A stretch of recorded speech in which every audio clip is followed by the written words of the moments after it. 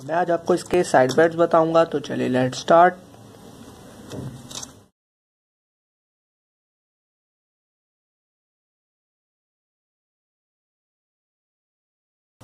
इसका जो brand name है, वो स्टेमिटेल है, और जो इसका जेनेरिक एक्टिव फार्मास्यूटिकल इंग्रेडिएंट है, वो प्रोक्लोर पैराजीन है.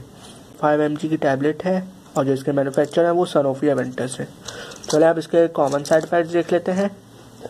सबसे ज़्यादा जिसके कॉमन साइड इफेक्ट्स होते हैं, वो होते हैं कि सबसे ज़्यादा इससे नींद आती है बहुत ज़्यादा डिजनेस होने लगती है बहुत ज़्यादा रैपिड जो है हार्ट बीट होने लगती है बहुत ज़्यादा, यानी एरिथमिया हो जाता है कोल्ड और कन्फ्यूज़न बहुत ज़्यादा होती है इससे राइटिंग मूवमेंट भी हो जाती है इससे, और ड्राउजनेस बहुत ज़्यादा होती है। मेंस्ट्रुअल पीरियड्स भी मिस हो जाते हैं और ब्लड विजन हो जाते हैं, यानी कि इससे धुंधला दिखता है। बहुत ज़्यादा राइटिंग मूवमेंट्स कर रही होती है, जिससे बहुत मुश्किल हो रही होती है। इसके अलावा देखें तो स्किन रिएक्शंस हो सकते हैं, इससे लो ब्लड प्रेशर भी हो सकता है, इससे और स्किन और जो आँखें होती हैं, उनकी येलोइंग भी हो सकती है जॉइंटिस भी कर सकता है एजुटेशन हो सकती है चिड़चिड़ाहटपन और जिटरनेस भी हो सकती है इंसोमिया भी हो सकता है नेक मसल स्पैजम भी हो सकते हैं और इन्वॉलेंट्री रिपीटेटिव मूवमेंट भी हो सकते हैं, जिसे हम टारगेट डिस्काइनेजिया भी बोलते हैं। अब डेंजर साइड इफेक्ट्स में देखते हैं तो डेंजर साइड इफेक्ट्स में न्यूरो मेलिग्नेंट सिंड्रोम भी हो सकता है कॉलेस्टेटिक जॉइंटिस भी हो सकता है ल्यूकोपीनिया भी हो सकता है, यानी वाइट ब्लड सेल्स की कमी, एक ग्रेनुलोसाइटोसिस भी हो सकता है, और न्यूरोमस्कुलर रिएक्शंस भी हो सकते हैं, जिन्हें एक्स्ट्रा पायरमिडल रिएक्शंस बोलते हैं।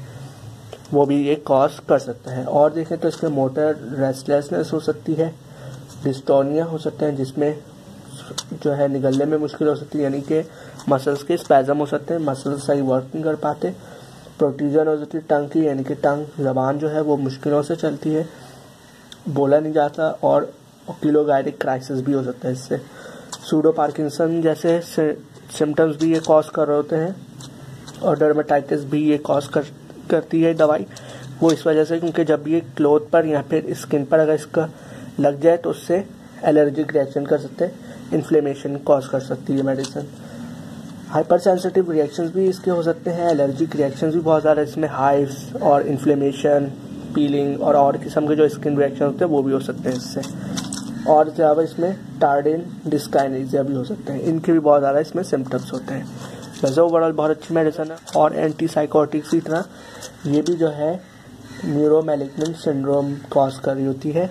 और इसके और भी बहुत से साइड इफेक्ट्स हैं मरीज़ के साइड इफेक्ट्स के लिए और इसके drug drug interaction food drug interaction और ये ब्रेस्ट फीडिंग में लेनी चाहिए और प्रेगनेंसी में।